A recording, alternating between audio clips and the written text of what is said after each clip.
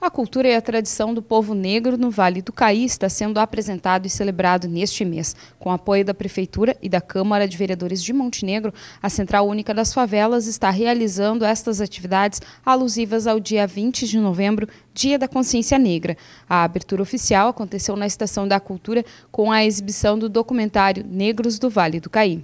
O trabalho de hoje é o vídeo, também nós vamos ter um, um debate sobre o, o, vídeo que está sendo apresentado agora.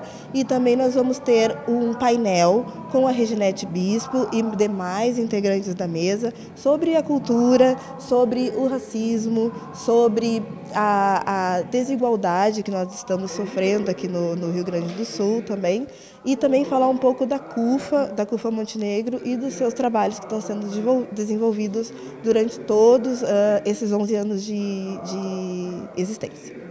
É de fundamental e grande importância que esse debate venha à tona para a sociedade, não só nesta época de 20 de novembro, mas sim durante todo o ano, porque através destes debates nós pensamos formas de construir políticas públicas e construir espaços onde homens e mulheres negros possam estar levando as suas experiências e construindo é, uma evolução melhor para o nosso povo de uma maneira mais fortalecida.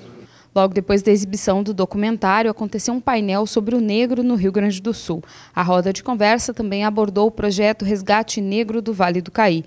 Isto porque os negros pouco ou nunca foram citados na história da colonização na região, assim como os açorianos e os alemães. No entanto, chegaram no Vale em 1750. A história do Rio Grande do Sul, assim como a história do Brasil e de toda a América, é marcada pelos crimes de escravidão, que são considerados hoje pela Organização das Nações Unidas crimes de lesa humanidade.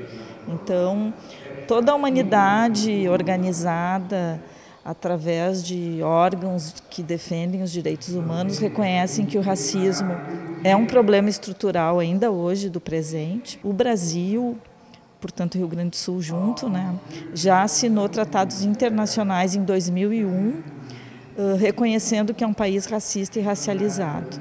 E criou políticas uh, no sentido, inclusive curriculares, né, que é o meu campo de formação de professores de história, políticas no sentido de contar a história completa do Brasil e do Rio Grande do Sul. E a história completa do Brasil e do Rio Grande do Sul só pode ser contada a partir dos, das famílias negras, das famílias e grupos e comunidades indígenas. Né? O painel também serviu para difundir a cultura, as origens e as tradições do povo negro. Um dos objetivos foi o de dar maior destaque e valorização aos personagens, monumentos e peculiaridades destas pessoas na região.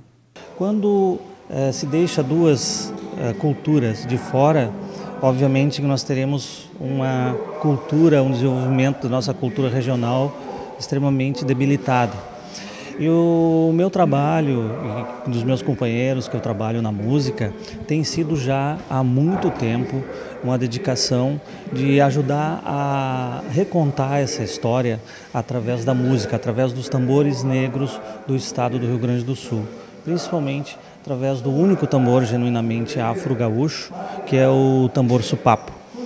Então, quando nós começamos esse trabalho, foi surpreendente, porque nós descobrimos coisas que não estão nos livros e que precisam é, ser contadas, né?